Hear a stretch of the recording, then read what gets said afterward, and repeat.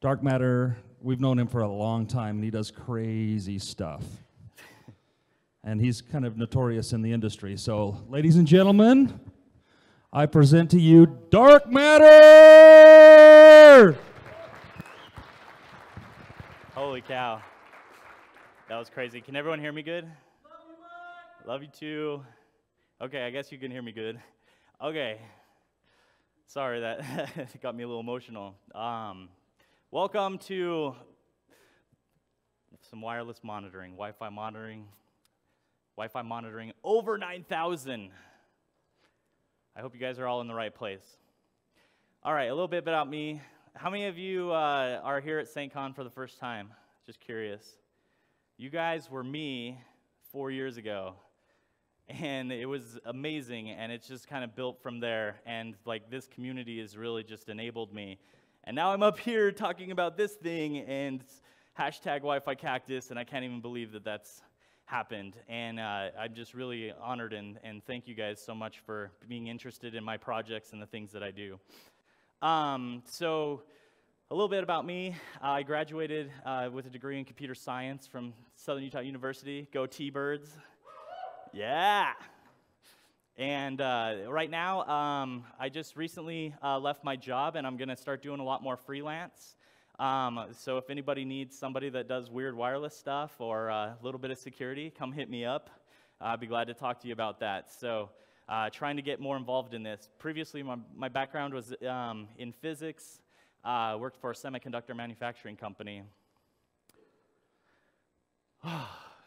this project is really a project that is like on the shoulders of giants. And there's so many people that I have to say huge, huge thank you to because it wouldn't be possible without, um, without all these people. Uh, first off, this year specifically, huge shout out to Hak5 because this is a sponsored project from them.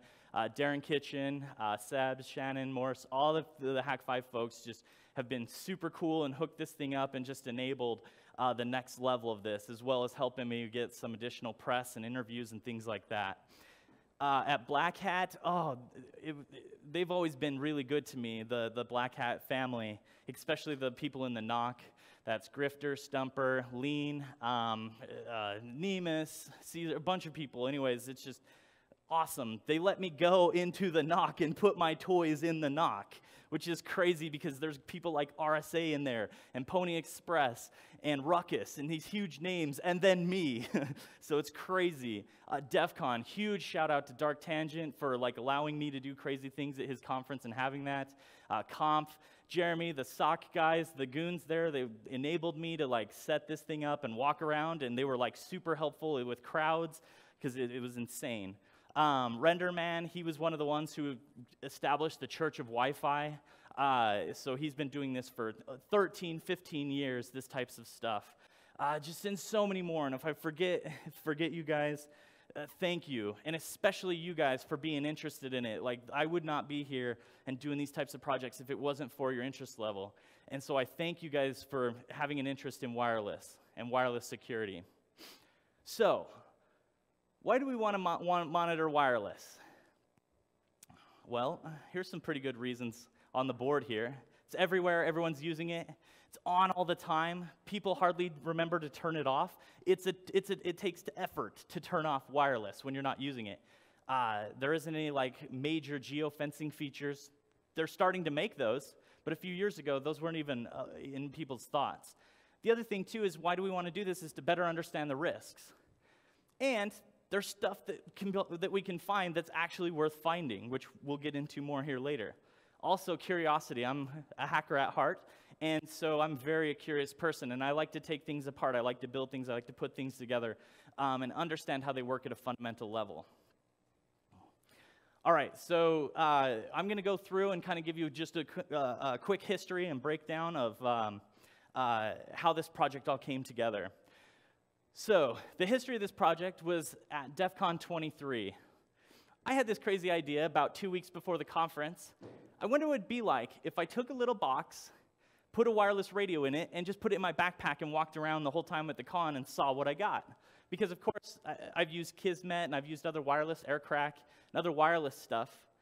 And uh, it's always interesting to see what you get. But then it's like, okay, well, DEF CON has, uh, at that time, it was probably like 15 to 18,000 attendees. It'd be interesting to see what people are doing there because it's the largest hacker convention in the world. So I created a BeagleBone Black, had two Alfas, and it had about 12 hours of battery life. And it was insane what I caught. It was really interesting. Not only that, SaintCon let me come here and talk about it, which is crazy. So that's online somewhere if you're interested and want to check that out. I went through kind of the statistics, the things I found.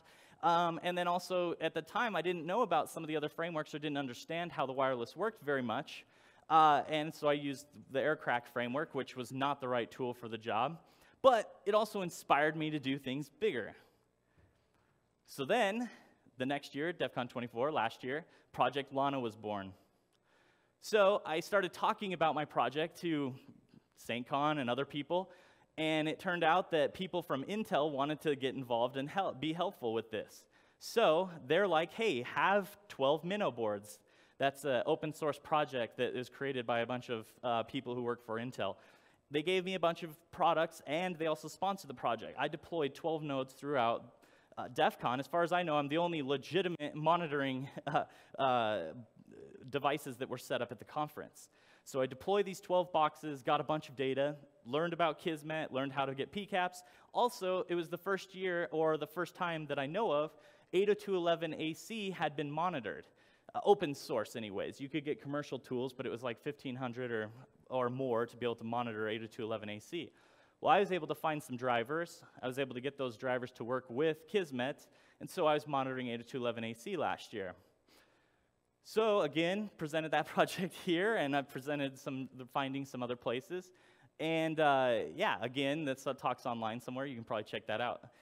So one thing about that project, though, is that I deployed boxes, I put them into places, but nobody really knew they were there, except for when we were walking through conference, the conference center with our, uh, uh, holding our boxes, and I got some goons with me, and we're hiding them under tables and hiding them under the stage, hiding them in probably in places we probably shouldn't have. Uh, and so, but it was kind of, uh, it was kind of a, a, a quiet um, way to deploy. People didn't really know that this project was going on, other than when I presented the data last year. So then, last year, or uh, that really inspired me. I wanted to do more. So it kind of it kind of got a little bit out of hand.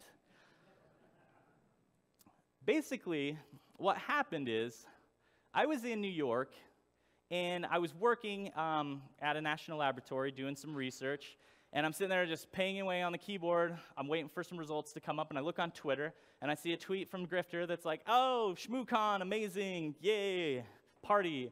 And I was like, oh, hey, I want to go to ShmooCon. So I look on a map, and I realize I'm within four hours driving distance of Washington, D.C. from Long Island. So I'm like, huh, should I stay or should I go? So Grifter tweets at me and is like, no, you get over here now. And I was like, okay, that's crazy. Jump in the car right then and start driving down to Washington, D.C. to go to ShmooCon. So then, as soon as I get to ShmooCon, um, I, started meeting up with people and uh, I ran into Darren Kitchen. I've known him for a little while. Um, but I didn't know him that well. And I was telling him about my wireless monitoring project last year, and I told him about SaintCon. We also did an interview on Hack 5 about it, um, which he kind of remembered. But then he's like, well, what, what was the big thing that you took away from last year? And I'm like, well, the biggest problem that I had was fragmented packets. Yeah, I had 12 boxes deployed around the conference center, but all the frames are fragmented. So I would get SSIDs that were only partial. I would get, uh, you know, only parts of the communication. Uh, somebody would start a DDoS attack or, or a deauthentication attack, and I would only see a few pieces of the, the puzzle. So I'm like, I want more. And he's like, well, what do you think you'd need to make that? And I'm like, I don't know, maybe like 20 radios. And he's like, all right, I'll take care of you. And I was like, are you serious? He's like, yeah. Two, literally two weeks later, 40 Hak5 Tetras show up in my house in a box. And I'm like, oh crap, now I actually have to do this. And again, again, this is a sponsored project, just want to let you know. So, but you can do this with any sort of open source radio. Uh, ATH 9Ks, that's basically what's in a Tetra. It has two of those. So we'll get on to, get on to the next piece. If the clicker will click. There we go. Again, sponsored. So this is the 40 radios that showed up to my house, and this is what it looks like when they're stacked up on your desk. And that's one of the boxes of the three. so yeah, anyways, so go support HakShop. Okay, so then what happens when you have that many Tetras or that many radios or that many pieces of equipment, you got to get something working. So I'm like, hey, I'll build this little cute thing. It's got six of them in here. I can strap it together with some uh, uh, uh, zip ties, basically. it's all held together with Velcro. And uh, yeah, you can even turn it sideways. And I'm like, if I can make it work on six, I can scale this to X, right? Like, if it can work with six, it can go to X. So um, I built this thing up. I took it to work. All my coworkers were freaking out. Uh, and, but it was a proof of concept, and it worked. And it has a 25 amp hour battery, which means that this little guy could be dead dropped for like 20 hours. So I was like, all right, this is, this is the, way, the way I'm going to go. This is the way I'm going to do this. Um, because this is, I'm just going to replace my briefcases I had the year before with these. But then I was like, no, I want to do the, I want to capture, I want to capture all the things. I want to capture everything. So uh, I ended up, uh, oh, yeah, I ended up deciding that we're just going to build this thing out to the max. We're going to include as many Tetras as I can. We're going to build it out. So real quick, I'm going to talk about the hardware. The hardware on this guy is, like I said, 25 Tetras. Uh, and then um, I've got two six, Cisco 16-port switches. There's an Intel NUC at the top. That's 16 gigs of RAM, 512 or NVMe drive, so super fast uh, Intel NUC. Let's see, I've got a 500 watt, 12 volt power supply down there. Oh yeah, I got to talk about the Arduino Micro in here that's running the lights, because of course lights. And a lead acid car battery, because you know you got to use what's available when you decide to put make it mobile five days before the conference.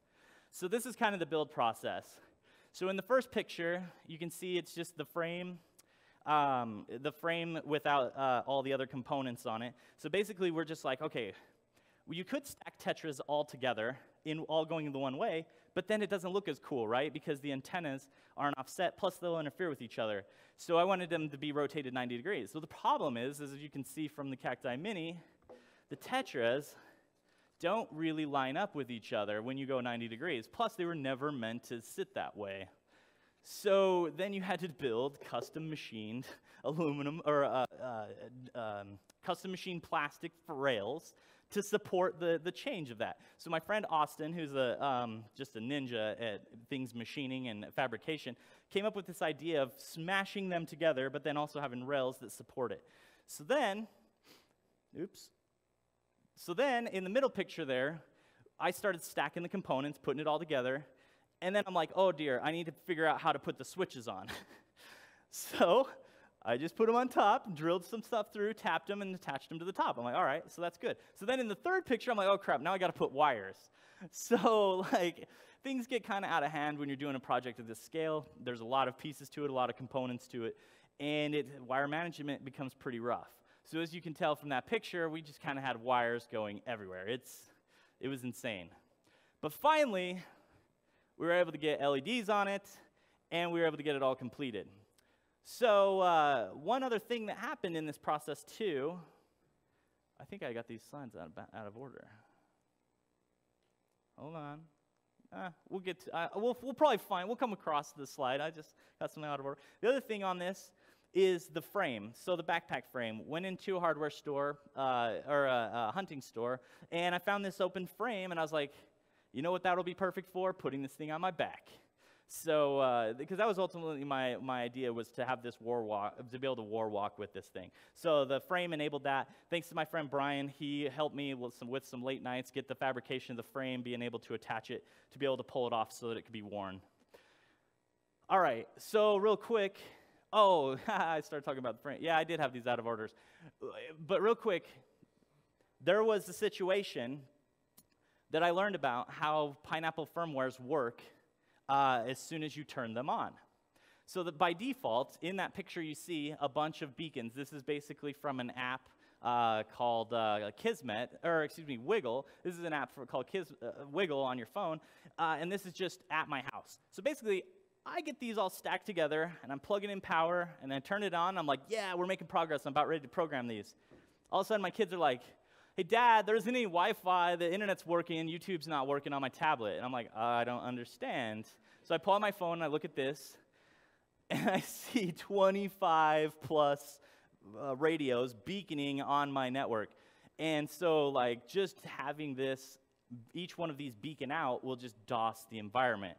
Completely destroyed it. So I had to go in and manually turn off 25 radios uh, so that way my kids could start watching YouTube again. So, lessons learned there if you're going to do something at scale of this large, you got to make sure that you beacon responsibly.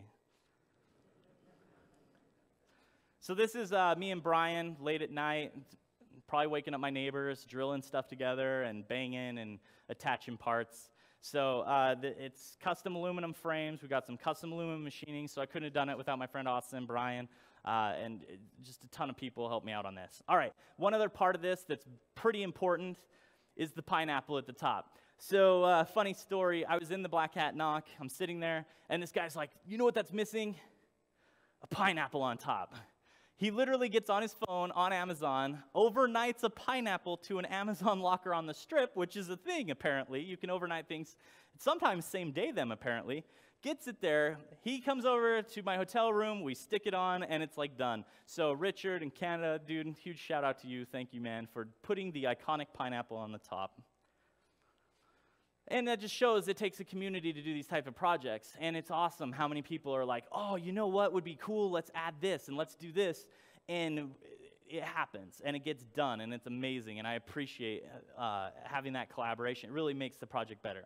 Okay, the software side of things. So in years past, uh, the first year I did the wireless monitoring project, I was using AirCrack, which is the wrong tool because it's mainly built around cracking passwords only. So its idea is to only capture the parts of the wireless frame that will get that, uh, the, get that pieces for you uh, to do the cracking. Now there's a sweet tool called Kismet. Well, I mean, that's been around since 2013, it's 2003, sorry. So it's been around for a really long time. But there's a new version of Kismet uh, that's way, way better. It's not even officially released yet. So I got to know the developer of Kismet, Dragorn, and he started building this custom version and making modifications for me. So the new version of Kismet, the, the, the, the release is going to be happening very soon. It's very stable at this point. Um, you can still go run the, the, the, beta version on GitHub. Basically, uh, we're running like super beta beta software on this, and it's all web based.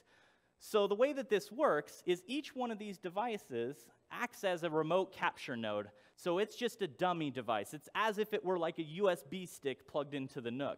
So then it's piping all of its data over Ethernet to the NUC, and I've got a single session of Kismet. Depending on our time, and I think I'm being allotted a little extra, I'll be able to do a live demo and show you all the devices uh, so we can go through that and see how that works. But basically, it's as if each one of these tetras is plugged in at, like a USB port into the NUC. So this solves the problem of data aggregation because my original plan was to run Kismet on every single node, which is what I did the previous year, but it took me three months to do data analysis on 12 boxes. This is 25 boxes.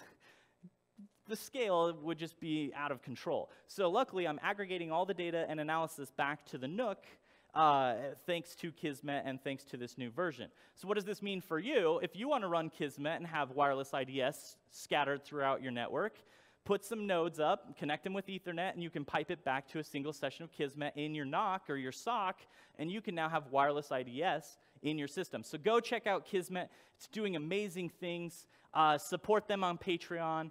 Um, it's, it's a fantastic project that's providing like next level wireless information. Um, yeah, so the moral of the story is everything's going to a single PCAP file, which makes it very nice for analysis. Okay, so I want to talk about some FAQs because um, I've gotten a lot of questions and I've, and I've been super happy to answer all of these questions and I love the questions. So hopefully we can have some Q&A. If not, I'll be around. You guys can come find me and I'll, you can ask me more questions. But I want to cover some of the basic ones really quick for you guys. How much does it weigh? So the frame itself without the battery is about 45 pounds, and then there's about a 10 pound battery, and then I think we've got another 15 pound battery, so roughly between 55 and 60 pounds total. How much, uh, how much data do you get? So uh, at Black Hat, in about seven hours, I caught 40 gigs. Yesterday here, just walking around for an hour and a half, I caught 13 gigs. So I don't know what you guys are doing on the wireless, but bravo. Bravo. So it, it gets a lot of data. uh, am I getting cancer? Probably YOLO. Um, actually, it's non ionizing radiation, so probably not. Um, and it's pretty low, uh, low power output. But when you times that by 25, hopefully the ideal output is zero because this is only a receiving device. It is, it is meant to be completely passive to only receive. Uh, are you planning on having kids? Already have two kids, so I'm good. Um, is it hot? Yes, it gets pretty hot. So this thing draws about 500 watts of power. And when you draw about 500 watts of power, to put that in perspective, that's about a half a toaster running all the time. Uh, it starts getting warm towards the top. The hottest I've seen it at the top after about 30 hours of running is about 38 degrees Celsius. So, or excuse me, 70 degrees Celsius, sorry. Uh, so pretty toasty, pretty, pretty toasty. So I was asking Darren, I'm like, hey, what's the like max temperature specification? He's like, oh, I probably wouldn't go more than 75, 80 degrees Celsius. And I'm like, okay, all right. So normally I'd be like, all right, slap fans on here, figure out cooling. I actually started doing that work. And then I remembered it's a sponsored project. So again, YOLO, right? Okay, how much did it cost? It's a sponsored project, so luckily the bulk of it I did not come out of my pocket. But the retail price of a Tetra is $200 a pop times 25. Then you take into account a NUC. Those things are a little bit pricey, like 500. Uh, the power supplies, the custom frames, that not including all that labor. I'm figuring about six to seven thousand dollars retail is what this would cost to build. Um, and then, uh, uh, yeah, I don't even want to think about how many hours I, I put into this thing. Uh, it's a labor of love. And then people ask me, what did TSA think about it? Luckily, haven't done the TSA thing yet, so I don't know. I've been driving everywhere I've gone. I drove to Phoenix, to Cactus Con, I drove here, I drove to Vegas. Uh, Utah's pretty centrally located for some cool places, so th- that's kind of nice.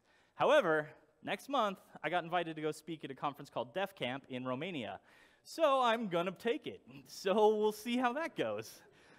And I, I think that that's kind of like one of those uh, bar's pretty high for going to Romania to see, if, see how far we can make it with this. So cross our fingers, going to get insurance, see what can happen. Uh, last question, I think, on my FAQ. How long does the battery last? Um, when we first set it up, it was about two hours on this battery. One of our other batteries, we got like three hours. But yesterday, I only got an hour and a half. So I think my batteries are getting kind of, their lives are kind of uh, dropping a bit. Okay, so back to uh, the story of being at Black Hat and DEF CON. So at Black Hat and DEF CON, uh, I decided to go war walking. I, I, tried to get a room at Mandalay Bay, which would have been super nice because I don't know if you guys have ever stayed at the Luxor. Uh, it's quite a ways away from the Mandalay Convention Center, and there's quite a walk. For some reason, the hotel decided to put me in the far side from the convention center. So I was literally on the opposite side, as you can see from the yellow line, maybe. Yeah, you can see that. On the opposite side on the yellow line, all the way to the convention center, clear on the other side. So, um, yeah, of course, you know, I got to keep track of my power steps. It's about 400 or 4,000 feet, 1,800 steps. Power steps, especially when you got something weighing this much on your back. So I decided that I'm gonna go walk through the casino, walk from there through the through the little form shop area, through Mandalay Casino, into the convention center with this thing on my back. Right before I was leaving, I looked in the mirror and I'm like, I don't know if I should do this. I was like, well, we'll see what happens. I made it, as you could tell from these pictures here. So I come walking into the NOC. The funny thing, the funny thing, they didn't know I was coming. I, I, I'm pretty sure they didn't know I was coming. So I start walking up. I don't have a black hat badge either. Security, the, the, the, the black hat staff see me with this. They're like, whoa, what is that? As I'm going up the escalator right past them. I get to the black hat NOC. The, the convention center security guard is like, let me get that door for you. That looks heavy.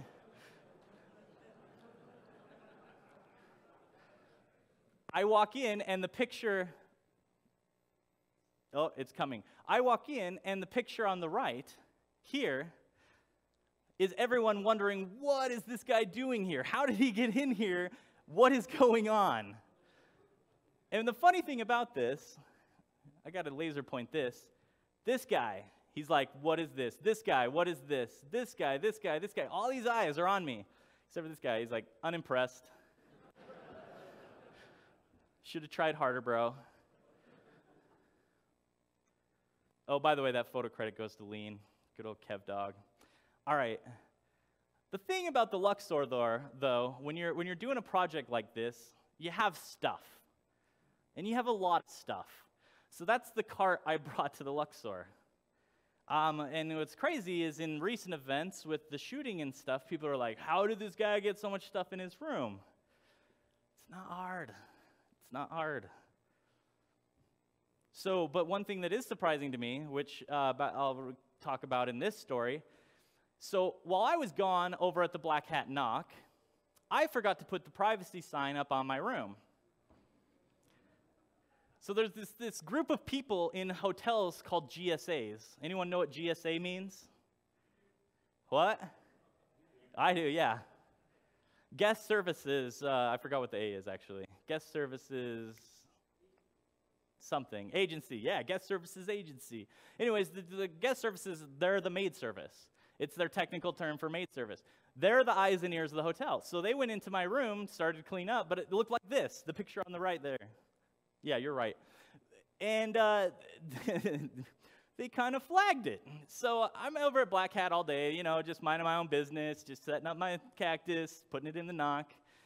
And I'm like, oh, I need to go back to my room. So I get back there, put the card in, and it blinks three orange lights. Who knows what that means? It doesn't mean that your card doesn't work anymore because I went down to the front desk to ask them that. And they're like, there's no problem with your card. You just need to hang out here for a minute.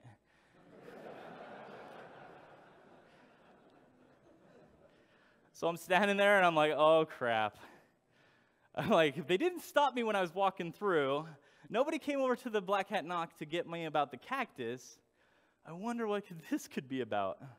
Guy shows up. He turns out to be the chief uh, security, uh, chief investigator for the Luxor. And he's like, Yeah, I need you to come with me. You need to explain to me what you've got in your room. And I was like, Oh, crap. But then, like, part of me is like relieved because this isn't in there. so I'm like, this can't be too bad. So on the walk over, we're sitting there, we're talking, and he's like, okay, I know you're not too big of a threat because I saw the Xbox controller. And I was like, yes, always bring an Xbox controller with you. So he's like, what are you doing? And I'm like, well, I'm really passionate about wireless, and we're here for the conference. He's like, yeah, are you one of those hackers? And I'm like, kinda. And uh, he's like, he's like, okay, well, tell me about uh, uh, tell me about what you got going on in the room. I'm like, well, I do wireless monitoring. I like to see what's going on in the environment. I do stuff to detect threats, also to see what sort of vulnerabilities exist in there. And he's like, oh, that's really cool. And it was a really awesome opportunity because I got to teach him about, you know, hey, are you in, is your phone in airplane mode? What does that mean? Is your wireless on? Is your wireless actually broadcasting when you turn it off? And so it was a really uh, cool opportunity to have some discussion with him. So he grabs another security officer with him, and they're escorting me back to the room. And so I get to teach him, too, some of these things. So I'm bringing him back, and the, the mini cacti was in there, and I'm like going through what this thing is and how it works. And they're just like, man, this is crazy. I've never seen anything like this. And I'm like, okay, well, here's the thing. I got to be honest with you. this isn't the only thing. Over at the Mandalay Bay in the convention center, I've got this big one that's like 25 of these, and I'm probably going to be walking through again. And he's like, All right, so what do you need from us? I'm like, Just tell your guys in the security booth not to tackle me when they see me. so he's like, All right, all right, and that's fine, that's fair. And uh, so we fist bump, do all the things, and uh, they let me go and unlock my room. So, uh, real quickly, the, uh, the reason why they were really interested in my room is because of the antennas. So, apparently, a lot of people stay at the Luxor, and they'll typically stay on the side that goes towards McCarran Airport. They'll bring in large antennas and lots of different things and try to either pick up information from the airport, or there's even been cases of them jamming information he was telling me about at the airport, which is a federal crime. And so they have a zero tolerance policy for people bringing antennas and stuff into the thing. Luckily, I kind of got a pass. All right, so back to Black Hat. Oh, yeah, the moral of that story is, you know, use your privacy sign if you got stuff in your room. You know, you don't need, you don't really need your bed made every day. Uh, the wi- uh, back to the Wi-Fi cactus uh, at Black Hat. So I had this clever idea. What if I went down to the vendor area with it? like, that was insane. So uh, we got a group of people. We started heading down there. And at one point, I ended up getting put in this little thing here, this little triangle, and roped off. And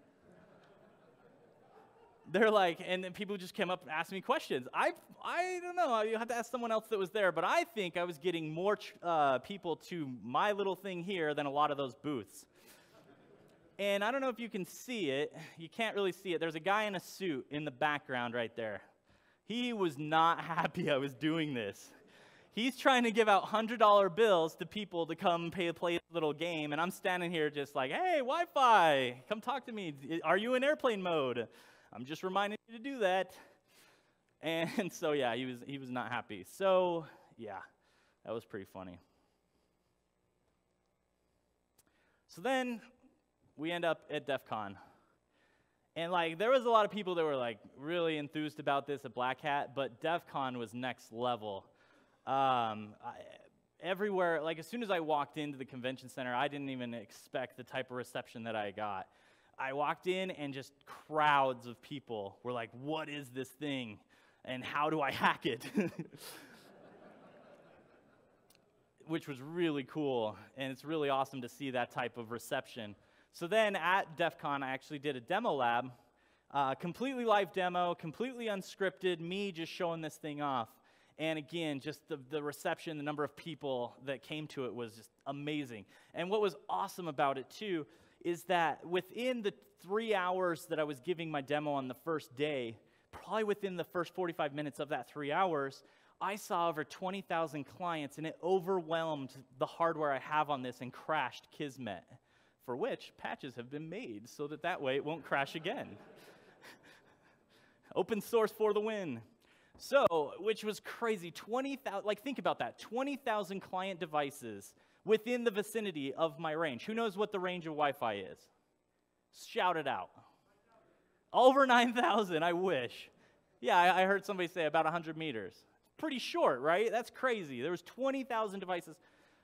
I mean, they, they had an estimated, I think, like 22,000 people there. So, and how many devices do you have on you right now that have MAC addresses? I've got at least four. but maybe I'm not normal.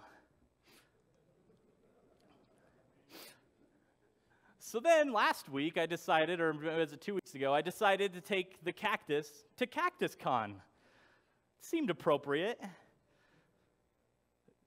Quick plug for Cactus Con. They didn't even know I was coming. They let me set up a booth and do demo labs in the, uh, in the vendor area, which was really cool. So I got to talk to a bunch of people about that uh, about this with them at that conference. So Phoenix isn't too far away. It might be a cool con to check out. Quick little plug for them. All right, the datas, the meat, the data. So this is what it looks like when you're trying to do data analysis on what you're capturing with this. How many of you deal with like PCAPs in mass? Like how many of you guys do? Like yeah, it's it's crazy, and it feels like this, right? super overwhelming. It's going super fast, and you don't even you can't even catch it. All right. Anyways, I, I thought that was pretty cool. All right. So the key here is we're preparing with this. This main goal is to prepare for the Wi-Fi drought because it's going to happen. It's going to happen. So just a couple of key numbers here. This year, I caught over 138 gigs of data just at Black Hat and DEF CON. Like I said, I already caught 12 gigs yesterday here. I caught like 20 gigs at Cactus Con. Eh, so this is just a lot, a lot of data. Compared to the previous years, uh, the previous year I caught 42 gigs, but keep in mind that was with the 12 boxes. The year before that, it was 280 megs with my one little big black box. So kind of a little bit difference. Total unique MAC addresses, 104,000 only this year. Come on, man, couldn't you get more? Well, the thing is, I only ran this at DEF CON for probably a total, and Black Hat, I would say like 10 hours total. Last year with the box project, I ran that one probably 36 hours uh, with 12 boxes. So that explains the difference between them. I just didn't see as much of the conference with this device. Total unique SSIDs was crazy. 309,000 in that short time window. Uh, it's people are just blowing up SSIDs. Some more about the datas. Black Hat NOC, 65 gigs total there. Black Hat vendor area, caught four gigs when I was standing there, just kind of chilling. And that's not a place people are typically using their wireless or their de- devices. Some people might have been using their mobiles. The War Walk that went from uh, uh, the Luxor to Black Hat, that was three gigs of data. Uh, you've got the War Walk at DEF CON, so that was about 18 gigs, etc. So, what about the MAC addresses? Total unique, like just kind of blew me away 104,084 total unique MAC addresses. So, what I'm thinking about doing just for fun is like, hey, was I at X conference? Uh, make a website for that. So, you go put in your MAC address or some parts of your MAC address. It's like, oh, hey, you got tracked. It's kind of like, have I been pwned, but for your MAC addresses. Another interesting thing is the most noisy access points. At Caesars Villas, they just really, really want you to connect really bad. Same with the Caesars Wi Fi. You got to connect to that. Uh, yeah, they must have some really high settings on their access points for the, the frequency of beacons because they dominated. And then you can see DEF CON, how much they beaconed in comparison. And like the capture rate, like they didn't change here. This was the static. So I wonder if they've got maybe something misconfigured or, uh, you know, and that's another thing to think about. Maybe you're beaconing too much because you can. It's maybe unnecessary. Some other interesting things, those are the top five SSIDs that I caught on the right, or no, this is continued, this is the top, top 20, excuse me, on the right-hand side. Uh, you know, pretty interesting, pretty interesting list. I ran some regexes and I ran some different things through the data set, uh, but because of the sheer size and, you know, it's DEF CON that, uh, I didn't have any other ones besides the top 20 on here. So what frequencies did I capture? 40 of them people were broadcasting during the times I was listening at those two conferences on these 40 channels. I don't think there's a frequency on that on that list that isn't like legal to you like that's all the legal ones that you can use and then some. Some of them are special use like 5180, 5220. You've got to have DFS enabled. So I hope they were using them appropriately. We'll see. Alerts It's kind of small across the bottom. The one on the right, if you can't see it, can you guess what it is? It says broadcast disconnect. Who knows what broadcast dis- disconnect is? Deauth. Deauth. Those are our really noisy attacks inherently, right? Because you're going to be sending a packet out, you're acting like the AP. So uh, those are those are those are pretty crazy. Um, and if, of course, at a place like DEF CON, you would expect people to be deauthing, trying to get you to connect their access points. Uh, another interesting fun fact, let's see, I don't think I have a slide about this in the future. Perhaps I do. So uh, one of the things here that we did not see is Broadpwn. But you're saying, wait, you could detect Broadpwn? Why, yes, we could. Who knows what Broadpwn is? A couple of you. Okay, so Broadpwn, real quick. I think I actually have a slide on that. That's why, I was, that's why I'm, I'm fast forward in a second here. Broadpwn. So, what Broadpwn is, it's a wireless vulnerability that they found in Broadcom chipsets. The, the affected chips is broad, uh, ACM or BCM 43XX. Who knows what the XX means? All the model numbers, the whole range. There's affected devices back to 2005, I think iOS patched it in March. So if you've got an iPhone, you're safe, you're cool. If you're an Android, they patched it in Android 8 as of July. So if you're running the latest awesome Android phone, you're cool. Otherwise, the rest, you're probably vulnerable. So basically what Broadpwn does is it allows the buffer overflow inside of the chip, uh, the Broadcom chip, and it actually allows remote code execution. Oh, that doesn't sound so bad, right? All you have to do, and what's on this board here, is I was sitting in the talk at Black Hat, because uh, the guy did the public disclosure at Black Hat. I was sitting in there with the Cacti Mini, and this is a PCAP of the attack. This is one of the captures of it. Man, this is really small. I really apologize. Anyways, so the point is, it's super noisy. There's a lot of packets. So it has a SSID. It says Broadpwn test is the name of the SSID. You have to then connect a vulnerable device to that SSID. Once it connects to there, it sends a management frame called a QoS packet, and it's malformed. So again, you can't see it because my pictures are terrible. Uh, basically, there's a bunch of malformed packets there. So if you're looking at a PCAP analysis of it, malform, malform, malform, malform, all these malformed packets. The problem is, who's looking at PCAPs of, of, of their wireless? No one is, so you can't really see this. So with Kismet, I'm sitting in the talk, I'm getting the info about how this attack works. I, I message the information to Dragorn, the guy who creates the Kismet platform, and I'm like, here's the detection, here's how you see it, it's a modified QoS. He adds an IDS script into Kismet that night, and we deployed it, and we're looking for Broadpwn at, at, uh, um, at DEF CON, and well, at the end of Black Hat and at DEF CON. Real quick, the damage that can be done by Broadpwn is that if it can uh, control your wireless adapter, it's not much of a stretch before it can actually control your device. All you have to do is find a vulnerability in the PCI Express bus that connects your wireless card, like on your phone, to your wireless adapter, which there's already a POC uh, for that that was released in, I think, February by the Google team.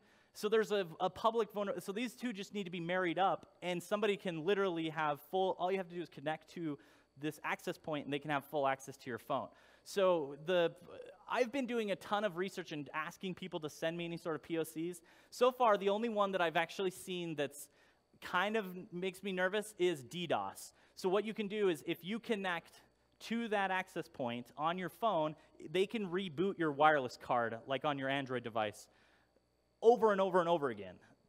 And then your phone just doesn't have Wi-Fi. So that's not too bad, and that's a way you can check to see if you've been infected, is your wireless will sit there and just be flipping on and off.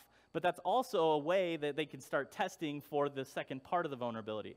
So as far as I know, in the wild, it hasn't been executed to the next stage of it yet, but it could happen. And it usually takes, you know, a good six months. Like if you look at WannaCry, it took like three to six months for that thing to ramp up. So, and it's, you know, we're, it was released in July, and we're in October, so we're getting close, so something might pop up. So patch your Android devices.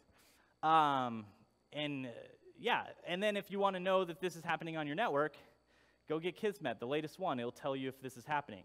So we had IDS for Broadpwn at DEF CON. And let me back up here. We didn't see it. You're like, what? A brand new vulnerability comes out and you didn't see it? Well, part of it is that, you know, I only captured a small window and I was only in a certain location, but I didn't see it at DEF CON. I didn't see Broadpwn. Uh, but I bet next year people are going to start messing with it. All right, so, some interesting events that happened. Another one that's really interesting uh, that I think is important for everyone to kind of be aware of is uh, when you see an access point, all of a sudden it changes its security type. That's something that can happen. So, somebody's basically trying to change uh, the way your device is connecting. So you're like, oh, hey, yeah, my phone, uh, my home Wi-Fi is there. I want to connect to my home Wi-Fi, but that's weird. It's not WPA anymore. Oh well, it's still good. But it's not, though, right? Because you've just been downgraded and now they can man in the middle attack you by connecting to that. So that's another interesting type of attack that I saw at DEF CON this year. We already talked about Broadpwn. Uh, how are we on time? Yeah, let's do a quick live demo. Let's see if we can uh, have some fun with the demo gods, shall we? Oh, never. I, give Troy as tribute to the demo gods. Oh, that's weird. Hey, there we go. Okay, so um, let me see if I can zoom this. Oh, hey, there's a screen right there. This is awesome. Okay, can you guys see that all right in the back? Make it bigger.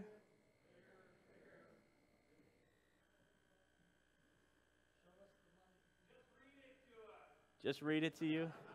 Okay, we'll start with the Ver- Verizon LGTLT BRV 842.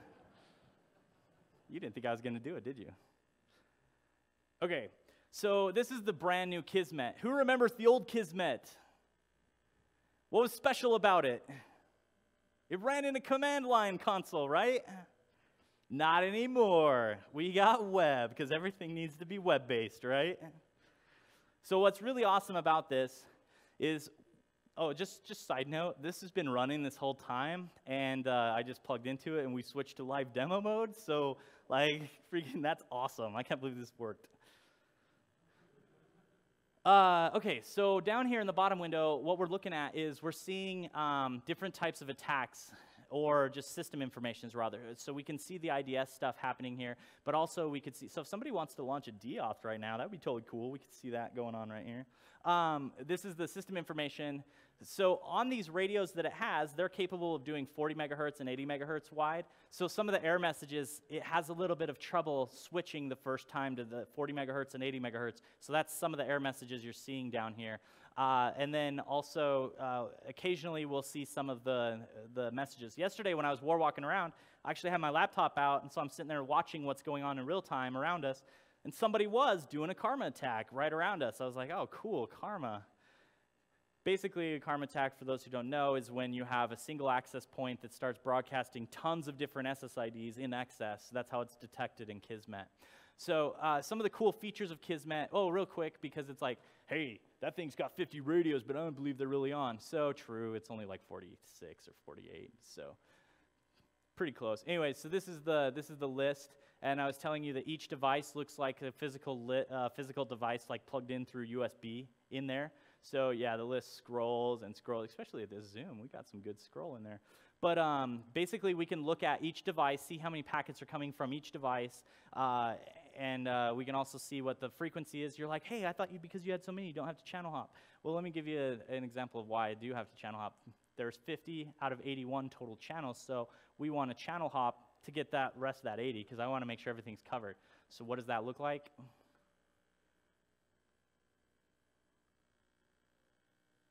Oh, you can't even see it with this zoom. Oh, here, let me unzoom.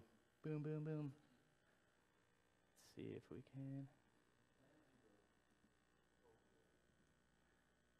Oh, it's too late. Can't do it. Anyways, the point is, it's. Uh, I think it was Mav who on Twitter who nicknamed this the Skittle graph. So it's like just constant red and blue, and it's just slaughtered coverage through all the channels. And the reason why I know it's an effective channel shifting that I've got set up on here, so we've got 50 out of 81. Basically what's happening is we just have some slight rotation five times a second of the channels. And the majority of the channels aren't even being used here. Like there's probably coordinated channels, maybe like 20. Oh, hey, that's something we can look at. Let's see how many channels are being used right now. Instead of me just guessing and winging it, let's see how many channels are being used. Bloop. Ah, man, again. Wait. Wait. Web for the win.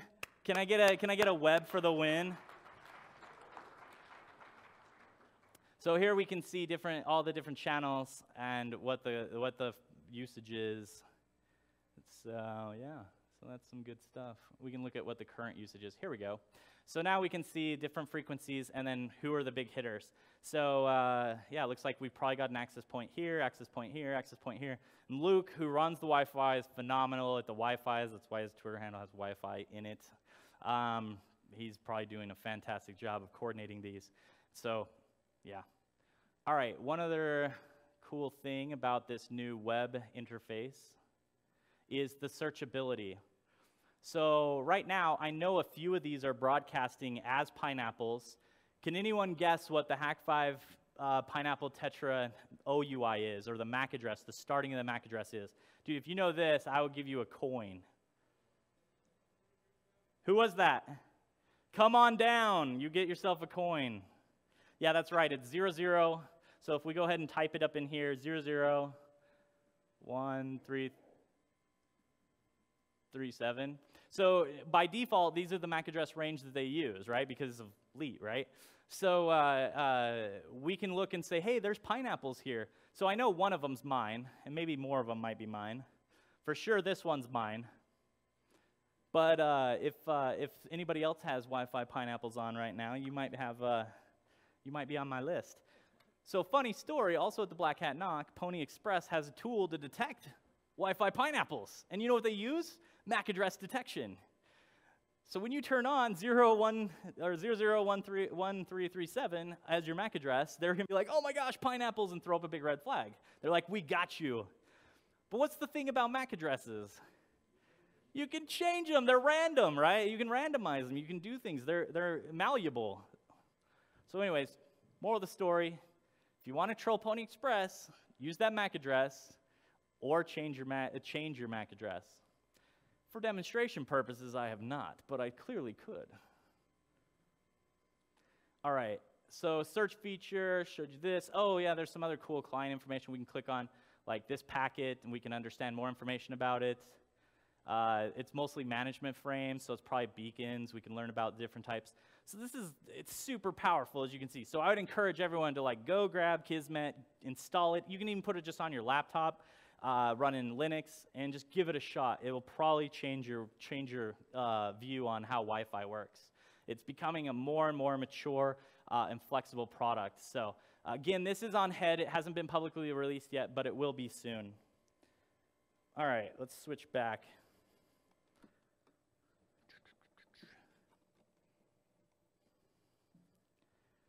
Uh, close.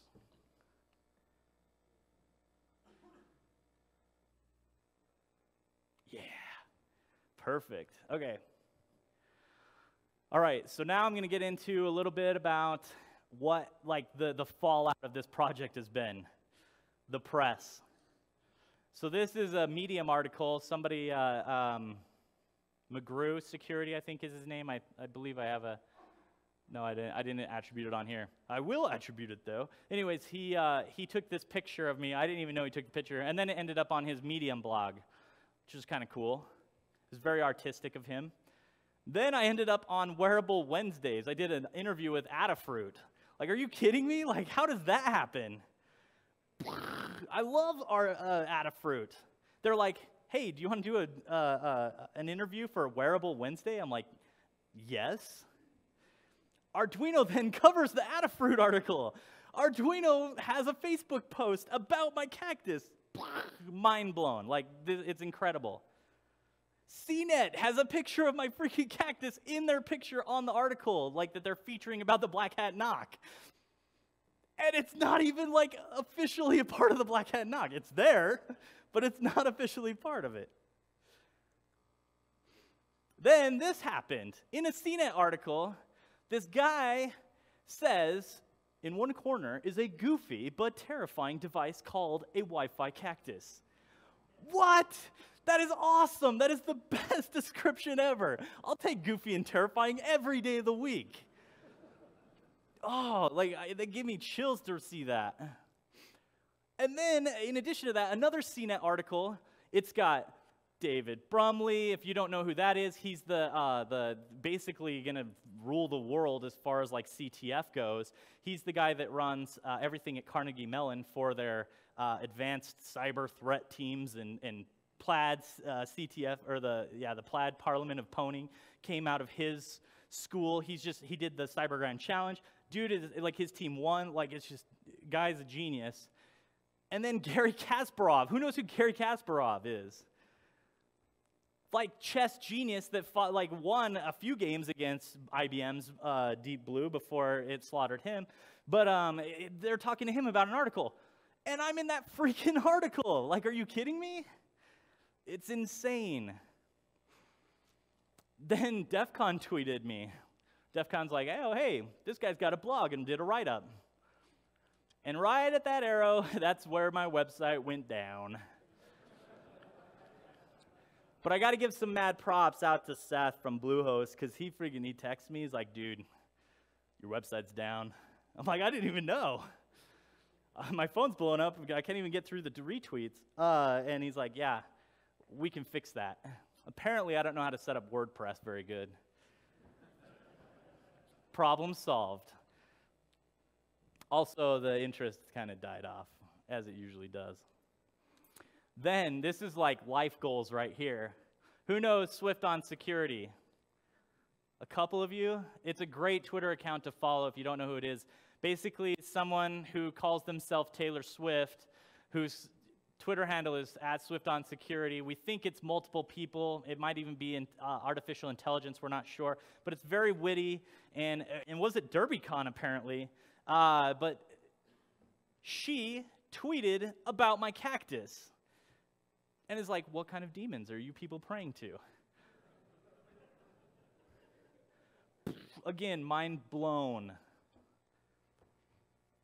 Of course, Hak5 sponsored project, but they also wanted to interview me and we wanted to talk about it and break it down. And I just love what Darren said here. It just cracked me up. Yo, dog, I heard you like pineapples, so we put pineapple in your pineapples so we can pineapple while you're pineappling.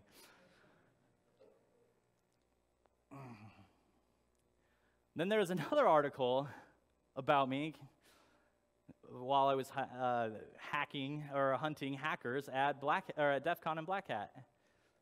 It's crazy. It's freaking crazy. And then the Twitters. Oh, there are the most clever people on Twitter. I love the tweets. Love the tweets. So we had, um, we had like somebody. This was interesting. Some guys like, why though? My immediate response is, why not? Guy with giant wireless router backpack or something. Wow. While I wasn't at DEF CON, I love talking about the Wi Fi cactus. My non techie friends get very concerned at first.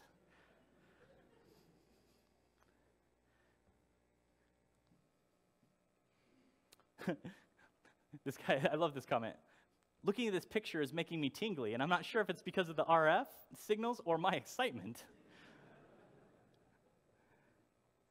Wi Fi cactus out and about in the wild. And then another uh, tweet I don't know if you guys know who this is, but that's Mike from Hackaday. Like, I literally have a Hackaday sticker on my laptop. Huge fan of Hackaday. I don't know how many of you subscribe to it, but I got to meet him and hang out with him. That was cool. All right, so now I'm going to talk about some of the wins. It actually worked, and I got data, and did multiple live demos, and just did a live demo here. Like, that never happens. I didn't get detained yet. I got tons and tons of data. The response from you guys and from everyone has just been overwhelming and it has been amazing. It's been so exciting and invigorating and like made me want to quit my job and I did and now I'm going to try to do this full time and try to make bigger things. And then I got invited to speak at DefCamp, which I already talked about. So it's like, wow, what? And here, obviously. I'm already here speaking, so thanks, Troy. Love you, Troy. All right, you always have fails. There's always fails in projects like this. So, one thing that was fun is that uh, once some sort of crash has happened, the Tetras would decide to be like, oh, hey, I'm just open Wi Fi access points, connect. People are like, is this a challenge? Can we hack it? I'm like, I guess, try. And then I'm like, oh crap, they're open access points. Lockdown, lockdown, lockdown.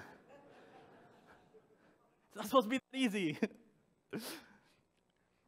it was pretty heavy to carry around, you know, lead acid batteries. Um, that was definitely a mistake. I'm definitely going to move towards more LiPo situation in the future because power density is higher. I didn't add a car adapter to this thing. Totally should add a car adapter. Makes it way easier for war driving. and my biggest fail, it's like Wi-Fi cactus, Wi-Fi cactus, voting machines. How many of you saw articles about voting machines at DEF CON? I should have put one on the back right? And then it would have been like the Wi Fi cactus voting machine. Bah! So, yeah, it's all about captivating the social media part of it. So, next year, next year. All right, so for next year, what are going to be the keys? More analysis. I just learned about this really cool software called nzyme. A guy released it at DerbyCon. It's kind of like Logstash or uh, uh, whatever that other tool is. I don't know, I just forgot what it is. Anyways, it's like that, but for uh, wireless. And I just put in a feature request for him to take PCAP files. So it's going to put it into a database so you can do searchability so you can see if clients are connecting to rogue APs and that type of stuff. The only problem is he wrote it in Java. And I asked him, why Java? And he's like, I, I love Java. And so I don't know. We'll see how it goes. But I'm going to see if I can collaborate with him because it's going to be like Splunk, but for Wi Fi. So I'm pretty excited about that project. If not, I'll end up building my own. Uh, more radio, right? Like I started with Bluetooth this year. We're working on getting that working. Kismet actually supports Bluetooth natively. However, I couldn't get it ready for this demo. But uh, for sure, next year we'll have Bluetooth and maybe we'll have an SDR. Um, Michael Ossmann's actually working with Dragorn uh, to get um, HackRFs to be able to work inside of Kismet. LiPos, obviously lots of LiPos. This is a this is a pro one. This is a pro tip. Probably a Segway because I'm not carrying it next where next year. How cool would this be on a Segway? Real-time data statistics. So I started thinking about it. What if I put a 4G access card in here, push some of the statistics to the cloud, and you guys could pull up and be like, "Oh, hey, what's the cactus up to today?" And just start seeing some of the analysis. Create kind of like a wall of sheepish uh, uh, situation with wireless. And then data visualizations, because you know data visualizations are awesome. It really helps you understand what's going on in the environment.